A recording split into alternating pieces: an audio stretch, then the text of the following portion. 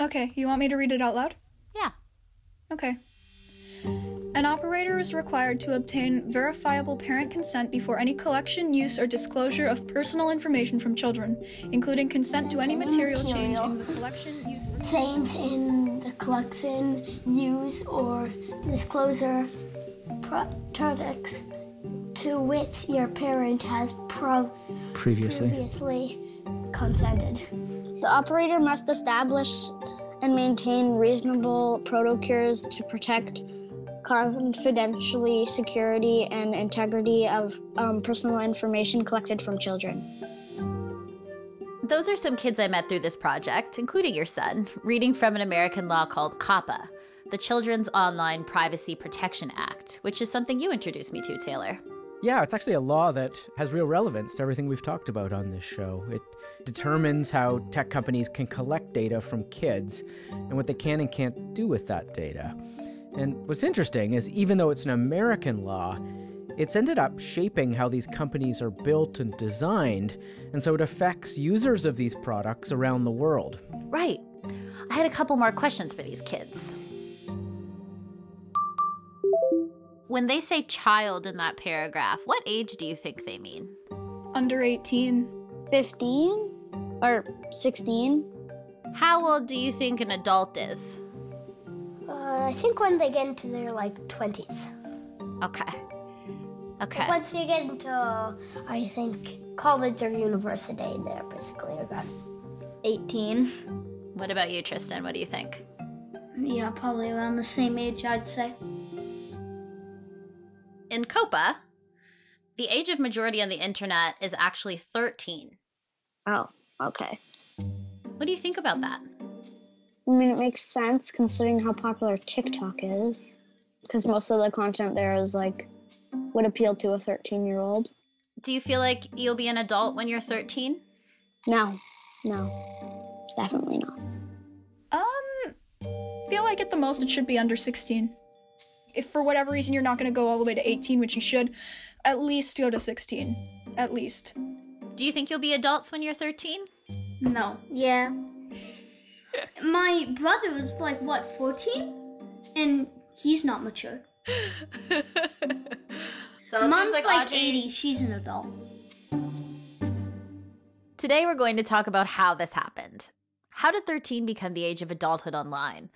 And what have the consequences been? This question informs everything we've talked about in this series so far. So, is there a way to fix it?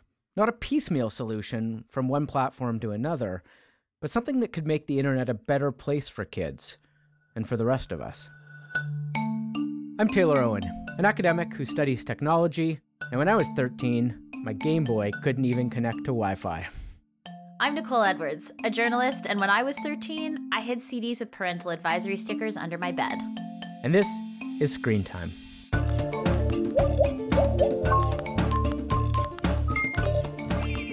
There are huge questions playing out right now over the place of technology in our lives.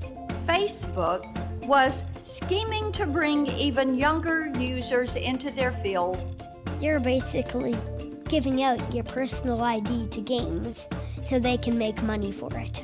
There are some people that I would like to block in real life. We could work together. But I will add that there are tensions because in the app market, their job is to sell, sell, sell. There's a lot that like I just don't understand. This is their platform, this is their life. Where's the limit? Every parent is struggling with these questions. Governments around the world are trying to keep up, and the scale and pace of change is only increasing. In this show, we'll talk to parents and kids about how they navigate the digital world. And to the researchers and policymakers who can help us understand the consequences.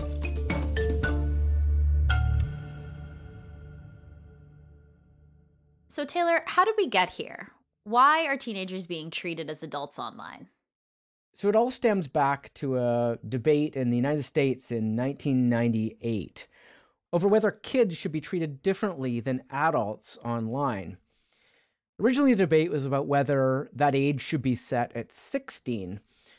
But e commerce sites, which remember were sort of the bedrock of the internet at the time, pushed back because they thought this would sort of cut them off from this really lucrative market of kids buying things on the internet. Hmm.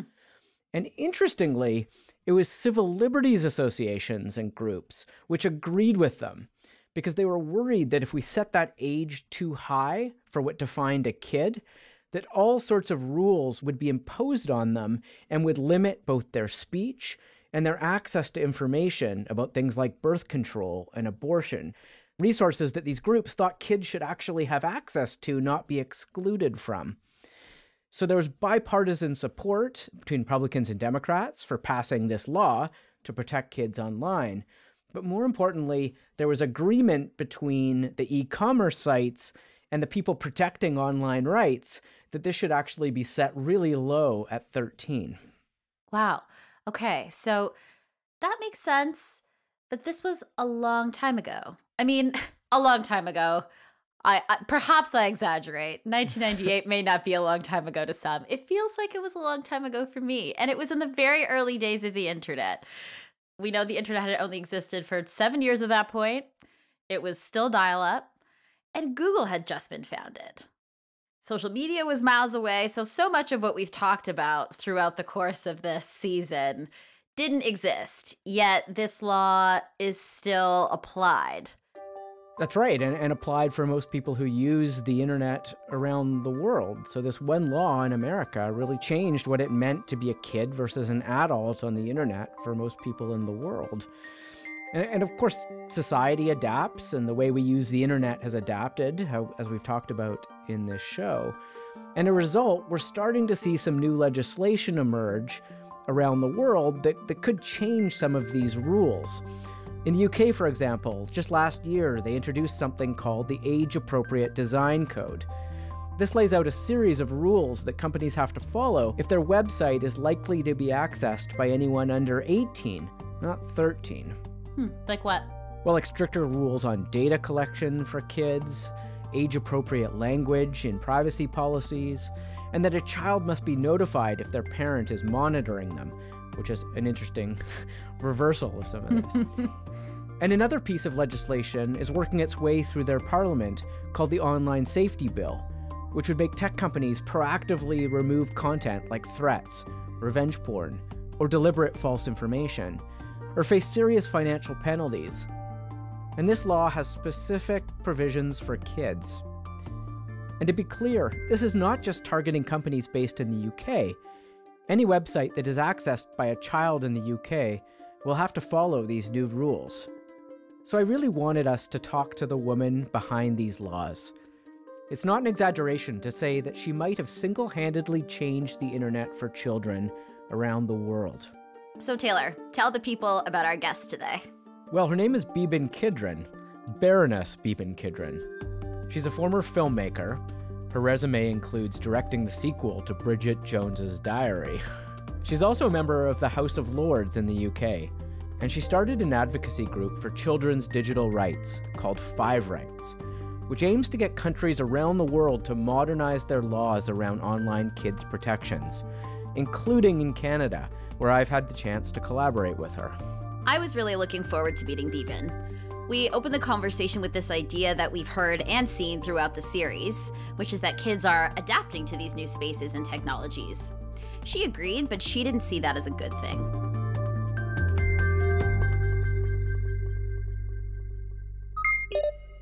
Why are they adapting to something that is not acting in their own best interests? And I think that that adaptation point is so important because it leads fundamentally to children just saying in despair, you know, I have no other option. This is the only behavior that is available to me. This is the travesty. This is the injustice that we're asking them to adapt to something not in their best interest. So here in the UK, we have sort of gone ahead and to a degree, why we've gone ahead was almost like an accident. We've gone ahead because we introduced the age appropriate design code. I am the author, if you like, or the creator or the instigator, whichever word you like. It sits actually now as a piece of law with the data regulator and it sits within existing data protection legislation. And that's how it came about. How is the internet different for a kid in the UK now because of this than it would be for someone in Canada or the United States who doesn't have those same protections? We're really talking about things that are actually quite ordinary in our life, in our governance, in, in the way that we conceive things. And I think that one of the reasons that we're a little bit ahead here in the UK is because we've actually had the courage to say, actually, normal rules apply. Instead of, oh my dear, this is all new. This is 21st century. This is something we can't think about. We've actually gone the other way and we've gone, hey, business, consumer product, you got to be safe for the kids. And in doing that, we've pulled on existing concepts. And one of the concepts that we've sort of drawn down is the Convention on the Rights of the Child. And one of the most important things about the convention is it says any person under the age of 18 is a child, right? And so gone is this wickedness of pretending that every 13 year old in the planet has adult sensibility, adult brain, adult experience, can make the sort of nuanced decisions that we demand of adult, the independence of an adult, because actually, literally, we know that that is not the case. And in not being the case, you're actually putting kids at a phenomenal risk. So I think it's our attitude. It's our saying, actually, this is really quite basic. It's pulling down some of the levers, which we already provide. And then it is actually having a fierce community of people here who really, really have supported this agenda. And we work all very closely together and we've managed to get some things over the line. So the age appropriate design code has been around for a, a bit of time now. I know it's only partially what you've been pushing for, and potentially new protections are going to emerge in the online safety bill, hopefully. How has the experience of being a kid, though, changed already based on the age appropriate design code? Okay. Uh, that's a really great question. I mean, you know, actually, there's hundreds of tiny little changes, but if I say some of the eye catching ones, so YouTube turns off by default autoplay. Now, if you think about what that means when we had statistics that 70% of what you saw, you know, was offered to you by autoplay, by the algorithm, it started before you had a moment to think about it and so on. On Instagram and on TikTok, under 16, they've absolutely disabled the ability for a stranger adult to direct message a kid that is unknown to them or the other way around. And one of the interesting ones was uh, TikTok stop notifications for under 16 year olds at nine and under 18 year olds at 10 p.m. So you don't get this kind of come back, come back, come back through the night, you know, creating the sleepless epidemic, which is one of the things that young people here complain to me a lot, is that they're just tired all the time. So those are just, you know, one or two of a host of things. And I think that what is so important is not to say, okay, that's great, job done, but is to notice that the job can be done, that actually it can be redesigned in relation to the needs of children, in relation to a piece of legislation.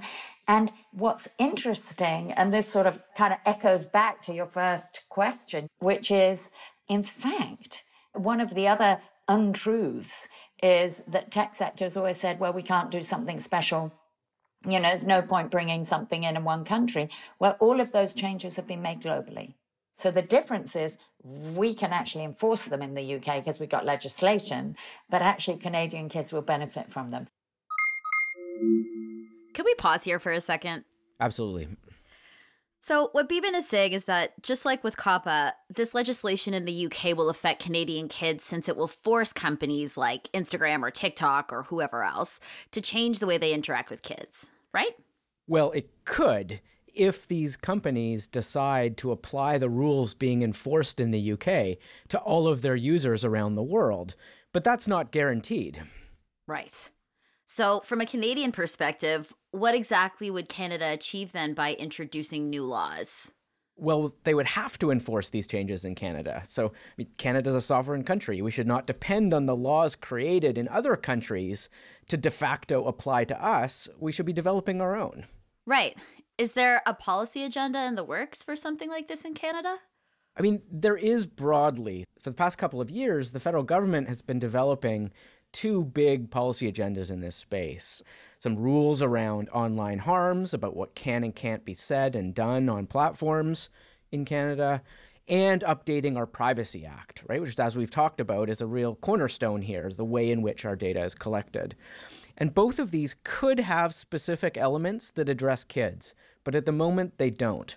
And so that's where the policy focus, I believe, needs to be. How do we both make sure that these bills are crafted appropriately and also make sure that they include specific provisions for protecting kids? Right.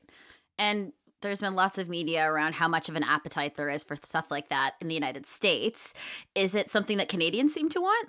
Yeah, way more so than our public debate seems to reflect. Hmm. There's a lot of debate about both of those bills, the Privacy Act and the Online Harms Bill that the government has been developing, that I, th- I think gives the impression that there is real divide amongst the population about whether they even want governments to do something. And that's just not what we see. There's overwhelming support in the broad population for much stricter regulations than the government's even considering. And on kids in particular, those numbers go up even higher if you ask Canadians, do you want the government to help you protect your kids online? The numbers are through the roof. Right. And our conversations with parents in this series definitely reflects the same. Absolutely. Okay, let's get back to the interview. The next thing Beeban touched on was that this legislation is just the beginning. She compared it to the Industrial Revolution when there wasn't one law that created modern standards around labor, but rather a series of laws over time regulating factory work. There was also the invention of the sewers and street lighting, and the weekend was invented, and all of those things were regulated as a result. Thank you for that, oh. by the way. Much appreciated. Yes. Yeah. My great, my great pleasure. I take full responsibility. All of these things and dozens, dozens more were brought in as a result of industrialization. So, you know, what I'm trying to say is look, we've seen it before 150 years ago. We see it this tiny little green shoot of the age appropriate design code, and we know it works. Now let's get on it, guys.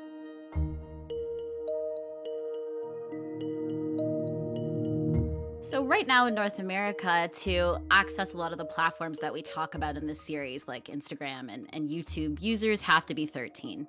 You've talked about moving that age to, to 18 years old. And that sort of takes us into the territory of age verification online, where here in North America as well, if a child goes to a particular website, it will ask them to input their age. And the clear flaw there is that they can put whatever they'd like. How do we get around that problem? First of all, I would like to just point out that it is really curious to me you know that uh, and in fact this these are the words of a 12 year old boy so let me give credit where it is due. Nice. he goes always. Miss how come they know i like red nikes but they don't know i'm 12 right? Hmm. the answer is that it's in their commercial interest to know you like red nikes and it's in their commercial interest to avoid knowing that you're 12 so the idea that age verification in and of itself is going to create more surveillance is actually a false idea because the more surveillance is happening, it's just that, that, it's not happening for that reason. Now, I am a big advocate of privacy preserving age assurance, and actually, there's a lot of approaches, and some of them are sort of, you know, like a digital coin that you get a verification and you use your token around the internet saying, Oh, I'm 12. You don't need to know anything else about me, but that I'm 12, but that I'm 14 and so on. Secondarily, that where you as a company are actually straying into areas which are age inappropriate, that you do more work of establishing who you're dealing with and saying, no, you can do this, but you can't do that. And that actually, you know, one of my big beefs at the moment, and I'm doing a piece of research about it, is, is around the login. Because actually, if you're logging in through Facebook, through TikTok, through Google, you tell me, what are we sharing? What information? What's coming back? What's the deal between all those companies? Well, here's the interesting thing. If you're logged in in one of those places with your age verified, what's happening to you in the supply chain. So my point is, and I do hope that we're going to bring in a age assurance minimum standards code here in the UK in the next 18 months. I have a private members bill which the government is resisting, but I believe it will eventually, you know, re-emerge in the online safety bill. And that's what we need. People are right not to trust age verification because there's no rules of the road.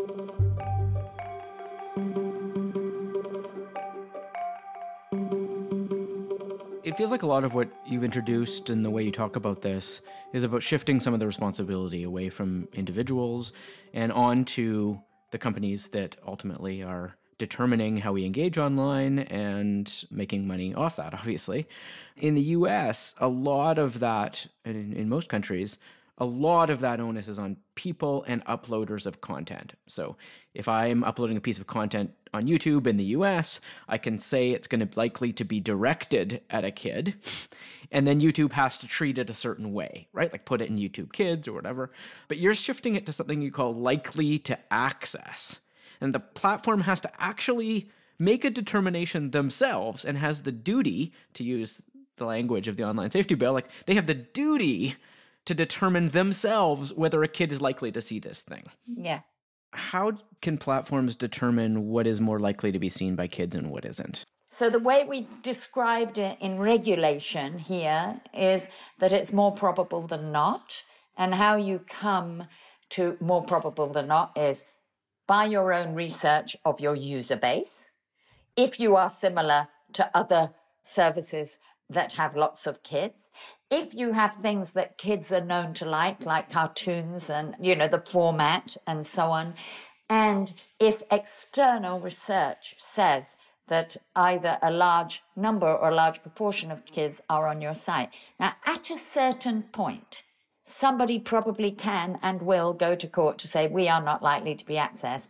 But at a certain point, there's a reasonableness thing, which is with all of those things, if you have 20 million kids on your site, then that's blown out of the water. Right. I think that what the tech sector is really good at, and I must say some of our academics around the world are also very good at, is sort of kind of getting lost in the edge case.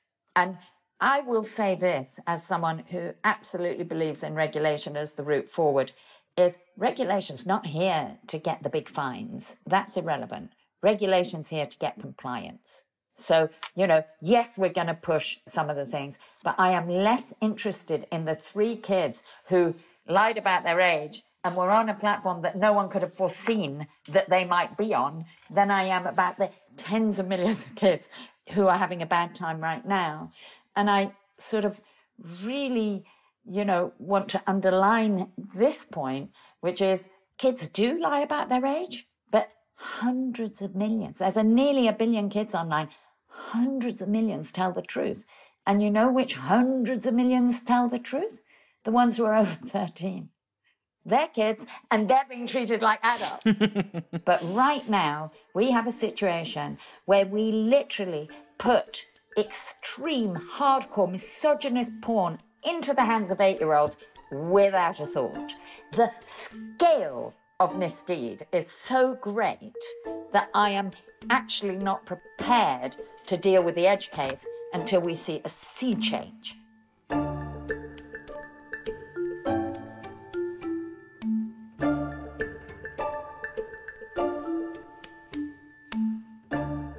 Speaking to lots of kids and, and parents and researchers, and what's become very clear is how savvy kids are in these spaces, sometimes more savvy than the adults in the room when it comes to how to make these spaces work for them.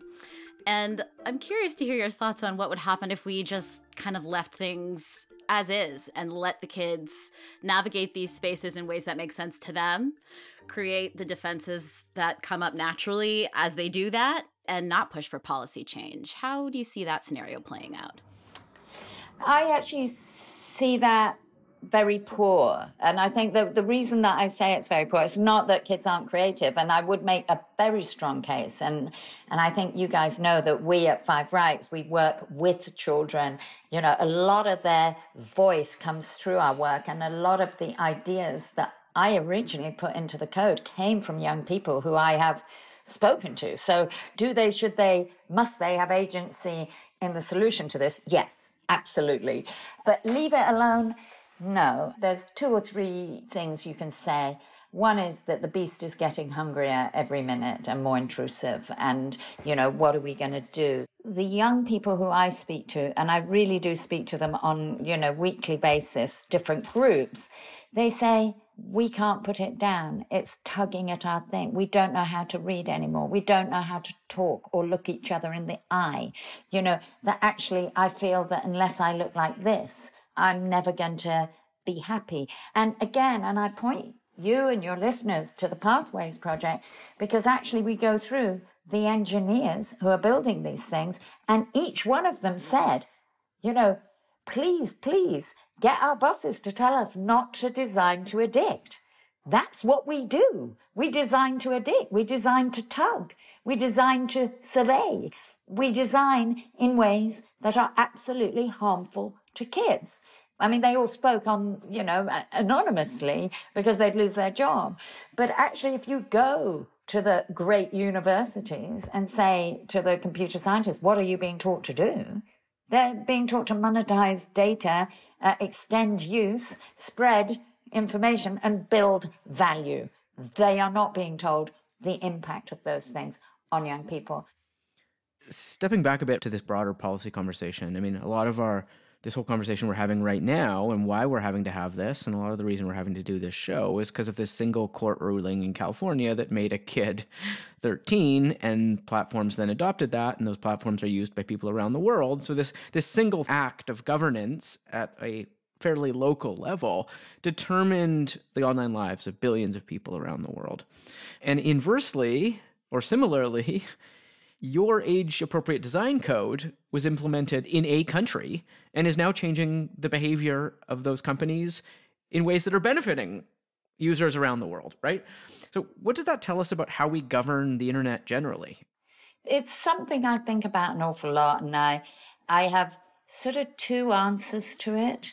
The one is that we should have, you know, sort of minimum global standards, and it should be roughly in the same direction. And, you know, if they were going to play ball instead of push back, you know, that's what you would want.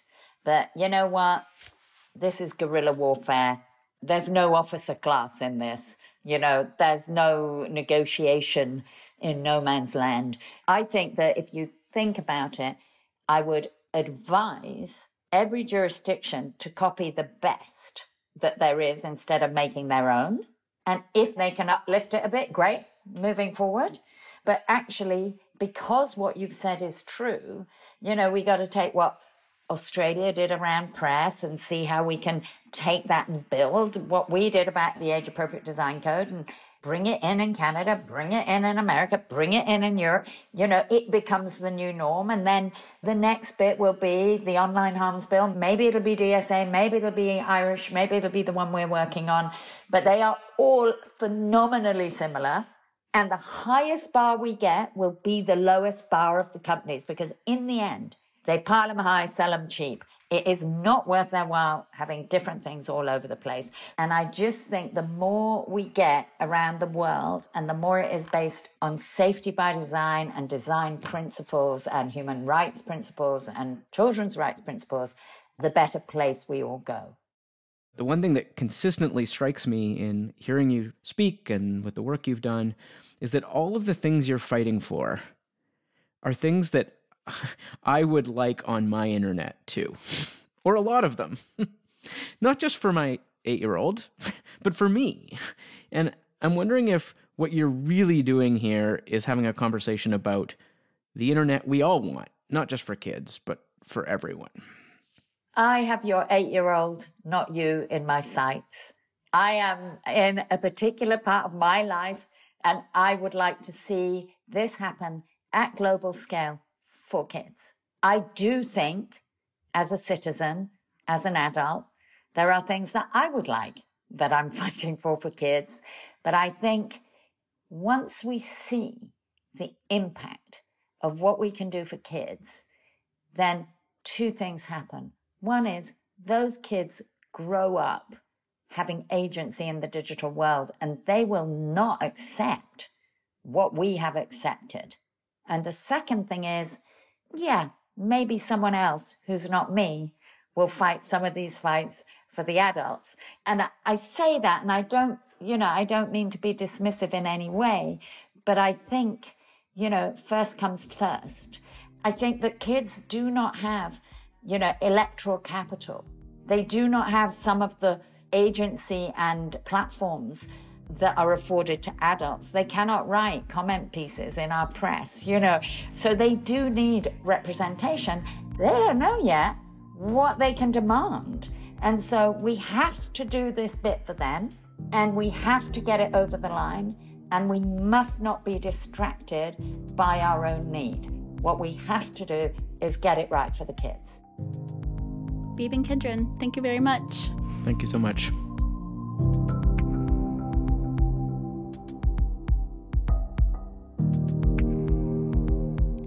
So, as you could probably tell, I'm a pretty big fan of Baroness Beeban Kidron. I can absolutely see why. She's a very impressive person. Yeah, and I, th- I think a really good way to close our season. I know I've learned a ton from this show, both from the kids and parents that we've gotten to speak to, and, and from all the experts around the world who we've got to talk through some of these issues with. Ultimately, a lot of what we've heard has been about individual behavior and how kids are adapting and being really creative in how they deal with some of these problems they find online, and about how parents can provide oversight and speak more openly to their kids about these same issues. And I think all of that is undoubtedly true. But what Beeban brings home for me is that these are also collective issues. These are about how our society functions in these digital spaces, and how about the design and incentive of these technologies affects all of us. And sometimes for those things, I think we need collective responses. And that necessarily ends up in a conversation about government, which is where we've ended up today. Yeah, and like you said, this is the last episode of our season, so let's talk about some of the big things we've learned throughout this project. I'll start. One of the things that struck me is just how essential young people are in this conversation. We made a really meaningful effort to involve them in each of our episodes, and there's a common phrase that you hear when covering vulnerable communities, either through journalism or through research, which is not about us without us, meaning that meaningful involvement of the vulnerable community that you're discussing always ends in a better result. And so they should always be included. And that totally rings true here. And I think you know, I'm from a generation where a lot of the instruction in the family around setting rules when it came to the use of media came from the top down. But that's because my parents grew up with the same type of media that I was consuming, like TV, for example. And that's definitely where a lot of the anxiety that we heard from parents came from is the change in that, where parents aren't sure what their kids are doing when they're using their devices or playing on their phones and meeting kids in games. And so, an important part of setting norms around this stuff is exploring it with kids and talking to them about it. Absolutely. And this show and, and what we've learned has really changed how I've certainly talked about these issues with my son and how we talk about all of the good and bad aspects of the tools he uses and to encourage him to kind of communicate those feelings both ways, both the things he likes about them, but the things he also finds more worrying, because kids do have worries here. Another thing that's become really clear to me is that kids are growing up with a set of technologies that are just fundamentally different than what we had. And their relationship to them and their expectations of them are just different. They see these technologies as places not where they consume information or even play a game, but where they socialize, where there's meaningful social interaction and they're places that they actively participate in building. They're not just consuming a thing that was built for them. When they speak on social media, when they build something in Minecraft, they are actively creating this world and playing a role in it. And the way in which these tools are ultimately designed does play a real role in what they are allowed to build, what those social interactions look like. And so I, I really think this takes us again to this question of policy of like how do we make sure that the incentives and the design of these systems are creating the right environment for our kids?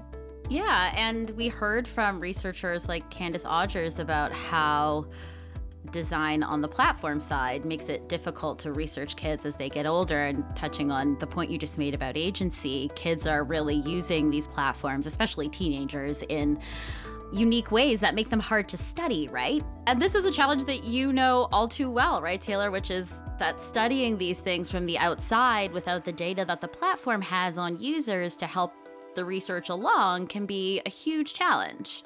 Yeah, and the, and the first thing any researcher or academic always says is, we need more research, right? So you'd expect me to say that. But I have to say that I was hoping we'd get more clarity from the researchers we spoke to around the world. I mean, we had access to some amazing people who are at the forefront of studying this stuff, and I'm still left with tons of ambiguity about the nature of these harms and how these technologies are shaping the lives of our kids. And that signals to me that we need far better data. And that's something we heard from almost everybody we spoke to. Absolutely. I guess the final thing that really hit home for me as a parent is just the degree to which kids are modeling their behavior after us. I mean, we heard from a number of people calling out parents for being hypocrites here. and I think everyone who has been called out by their kid for like staring at their iPhone as opposed to playing with them or engaging with them feels this like deep guilt about that. And so I, I think there is an element here of us modeling a different kind of behavior and a different kind of value, even to our kids. But, and the final thing I'll say is that there are limits to individual behavior. These are large scale structural systems that are embedded in all aspects of our society, our economy, our lives. And when that's the case, you do need bigger structural solutions. Mm-hmm. Despite all that, one of the things that sticks with me from all the conversations that I've had with kids is the joy they experience online. The digital world is a very real part of our lives now, and it has the potential to be really positive. As we're talking about all the systemic problems and about fixing things, I think it's important that we don't lose sight of what we're fighting for. So, to end, I'll hand things back to the kids. Sometimes when I'm sad, I just want to watch a funny video or like listen to music or watch TikToks. And, you know, social media can be fun too. Like, I can get inspiration. My style is basically based off of social media. My the way I do my hair, the way I do my makeup, it's all pretty much based off of social media and the inspiration that I see from there. There's another really famous YouTube channel called The Odd Ones Out. That's not the one, but it's it's similar. It's like animations, but not like anime, not like any kind of complicated animations. Kind of just a bunch of like, they're all five minute stories about like his childhood and different things that happened in his life, but he explains them in a pretty like fun, funny way. We make the cookies with frosting with Elmo and the chocolate chip cookies with Cookie Monster. When you make it with Cookie Monster, there's only Cookie Monster, and you never know what happens when you give it to Elmo. Yeah, we FaceTime him every weekend. We'll have like dance parties or or we will pick each other's outfits or we'll do a photo shoot. Go, go, Okay, go, okay. go, go, Hey, go. I did it! Now you turn the screen so you're facing towards the side of the beam. Oh, And smart. you go forward. What do you like about watching other people play games? I sometimes get inspired, plus they're super more entertaining than I am. I try to be entertaining, but I fail miserably, and that's the first step of being entertaining, failing miserably. Thanks for listening to season one of Screen Time from TVO, Antica Productions, and the Center for Media, Technology, and Democracy at McGill University. If you haven't heard the rest of the season, go back and listen now.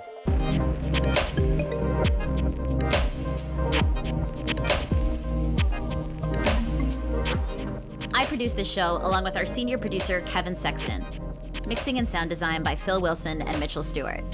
Production assistance by Emily Morantz. Research assistance by Sonia Solomon, Cody Hauka, and Helen Hayes. Our executive producer is Laura Regehr. Stuart Coxe is the president of Antica. Katie O'Connor is the senior producer of podcasts at TVO. Lori Few is the executive producer for digital at TVO. If you like this show, tell a friend.